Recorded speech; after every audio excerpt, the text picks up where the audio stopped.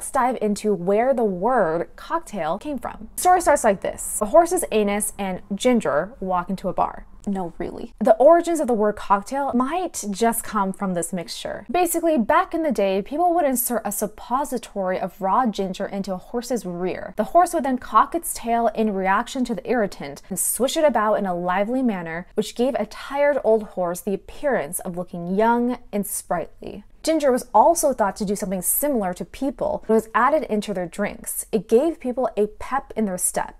What does gingering have to do with cocktails? A citation in 1861 discusses how a female bartender in a British hotel tells the gentlemen to make their own drink and cock their tails, referring to gin and ginger extract. Eventually, bitters were swapped out for ginger as a pick me up in drinks. And that's a certainly windy path to how we probably got the word cocktail. Now you can share that fun party trivia at your next cocktail party.